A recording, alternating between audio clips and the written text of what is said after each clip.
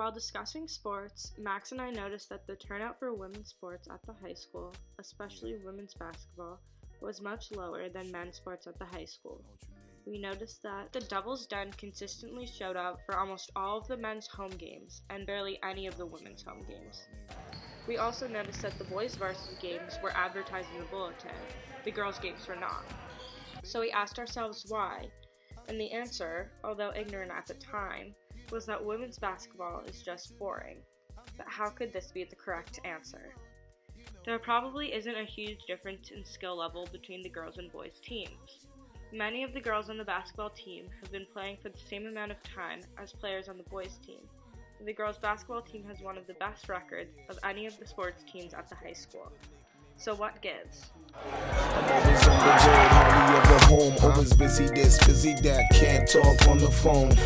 I used to when I worked here. I retired last June, but I used to attend the games all the time. Yes, I attend sporting events at the high school. I do attend sporting events at the high school. Yes, I do attend sporting events at the high school. Yeah, I go to sport games at the high school. Yes, I attend sporting events at the high school. I very rarely attend sporting events at the high school. Sometimes. I attend sporting events at the high school. Yes. Uh, yes, I have. Yes, I do. I'm Yes.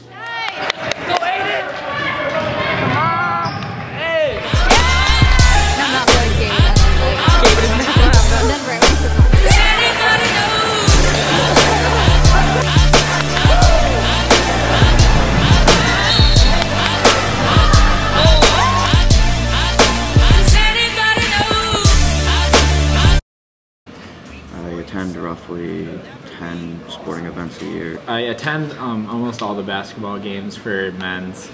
Well, I try to attend all of the basketball and football games for guys. All the football games, probably all the basketball games, and all the baseball games. almost all the boys' basketball games, and I went to a majority of the boys' football home games. Honestly, probably not more than two or three. Probably two different men's sporting events. here uh, this past week for a varsity basketball game. I basically have been at every football game for the last five or six years.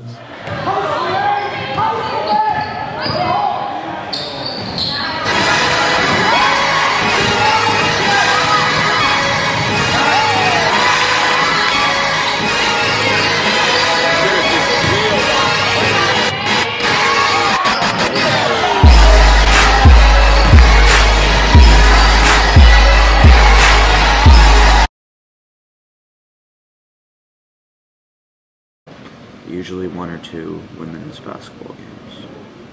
I attend like one for women's or two. I try to go to some of my friends' games per year, but I don't really make it to a lot of those. Probably like three or four. Mostly none. Really didn't do much with girls' sports. One. One women's sports per year. Uh, it will probably be something in the neighborhood of about five or six. We're going to show you pictures of basketball players, and you have to say if you know their names. Oh my gosh. Okay. Okay. Kevin Durant. Kevin Durant. Kevin Durant. Kevin Durant. Kevin Durant. Uh, Kevin Durant. Kevin Durant. Is Kevin Durant. Oh, that looks like Jamie Foxx.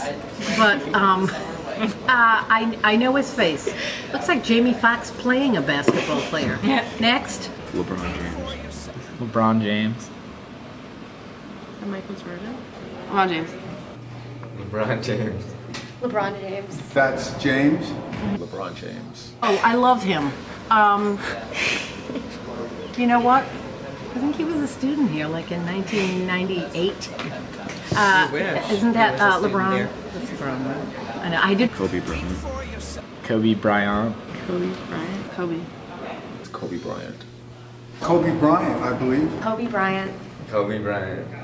Kobe Bryant. Oh, hello, Kobe Bryant. Carmelo Anthony. Carmelo Anthony. Carmelo Anthony. I don't know. Carmelo Anthony. Carmelo Anthony. No, I can't tell. Not certain who he is. I love him, and I just I can't I don't recognize him, you know. Uh, but um, next. Joakim Noah. Joakim Noah. Joaquin Noah. Jamari. Joakim Noah. Joakim Noah? Well, I can't think of his name offhand because he has such an angry expression on his face. Joakim Noah. No. Iggy Azalea. No. Oh, jeez. I don't know. Oh, I love her. No, that's not Wendy. No, wait, way too flat-chested for that. I, you know what? She's somebody's wife. I don't know. Laila Ali. Gainer. I'm not certain of her name anymore. Catchings, maybe. No. Eva Minaj. I've seen her face, but I don't know her name. I don't know how this is a, a woman's big woman's basketball player. I just don't know her name, but I do know that she's 5'11. I don't know. One of the Williams sisters? Layla I don't know. it's so bad. It's such. Nope, don't know who she is. That is, I don't know. No. No. Are these basketball players? Is that the tennis player? I don't know her name offhand. Don't know. I don't know. Ryan Lee's wife. Uh, don't know. I forgot her name. Hey, I don't know. It's uh, Brittney Griner. Brittney Griner. Oh, Brittney Griner. Oh, I love her. I love her. That she's UConn. UConn basketball. She is. Um, she's really tall. I think she's like six one, and I love her. Can't remember her name, but I do know her height. No, I don't know. I don't know. Oh, Brittney Griner. I don't know. Nope, don't know her, her name. That one right there, I don't know. No. Monica Lewinsky. no. Okay. Oh, I love her, but um, I don't know her name. I don't know. I don't know. Is that Taurasi? Well, that's Taurasi.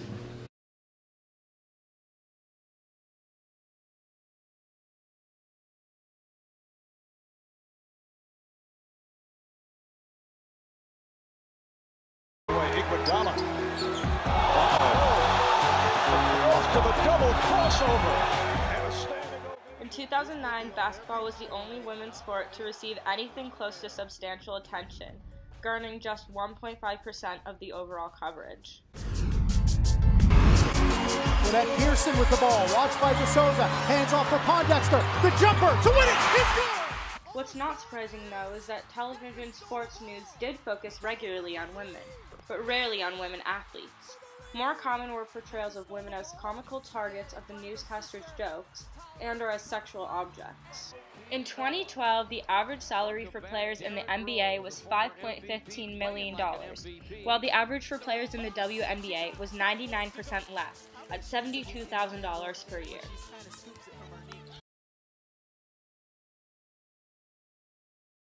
One way that gender surfaces in basketball is through sports coverage. A study that examined six weeks of men's and women's play in 1989 found that sportscasters were more likely to use positive language to describe men's play than women's. Even when they were describing the positive attributes of men and women, this tendency was present. For example, men were described as leaders, wise, very calm, as making power moves, and as gutsy. These are words that emphasize men's physical strength and confidence on the court. Even when women were playing well, newscasters described them as holding up to pressure, big girls, angry young lady, and poised. Words that emphasize gender, but not their skill. Another example of how newscasters emphasize gender in women's play and not in men's is the fact that women's league is called the WNBA and the men's is simply the NBA. The assumption that men's play is normal and that women's play is exceptional is evident throughout the coverage of the sport.